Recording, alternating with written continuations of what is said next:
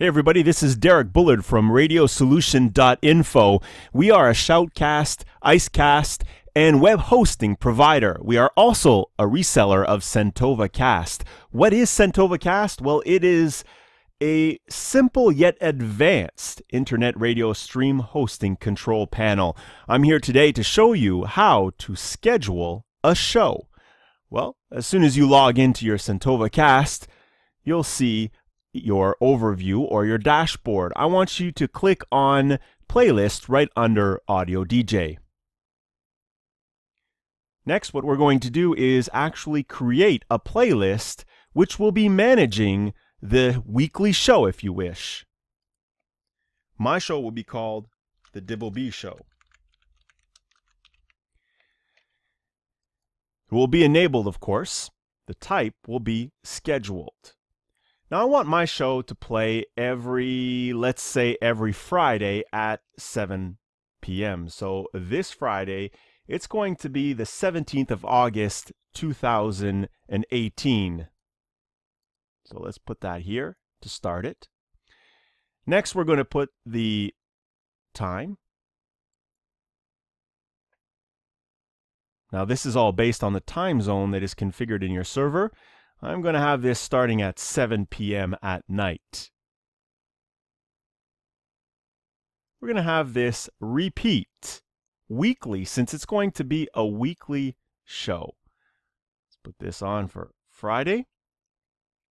We're going to play all tracks in order. We have other options as well if you want to play tracks randomly or play only one randomly selected track from this playlist. I'm going to keep my um, playlist fresh and up to date. I'm going to change the file every week. So I'm just going to put play all tracks because I'll be deleting the file every week. Interruptible, no, always play to completion or stop time. Or I can terminate if another scheduled playlist is due to begin. Now that all depends on the configuration of your radio station or uh, whatever schedule that you've got lined up. Well, since I've got not much for scheduling right now, I'm just going to put this on no always play to completion or stop time. Zero will be to play to completion. I'm going to save this. All right, now you will notice that I've got uh, a new playlist called the Dibble B Show here. It's scheduled. I also have uh, the option to delete it, to disable it, of course, if I want to stop it for one week for some reason, or to edit it. Well, now what I want to do is actually add a file to that playlist or add the show itself. So in order to do that, I'm going to go into Files. Now here I've already created uh, the folder itself called the Dibble B Show and uh, I've actually even uploaded uh, a show. So it, that's pretty simple to do. All you have to do is go to upload here and select the files off of your hard drive. It will appear in this folder. Now I've created folders here so that I can easily find my shows. It's just like your hard drives. You can easily uh, see where your files are and stay organized. I think that's that's pretty important. So here it is. Here's my file. Um, I'm going to now return back and go into playlists here, okay, and launch the media library right here.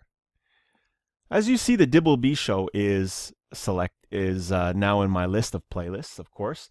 What I like to do to easily find my files is click on Options and Browse by Folders. Here you have what you just seen before.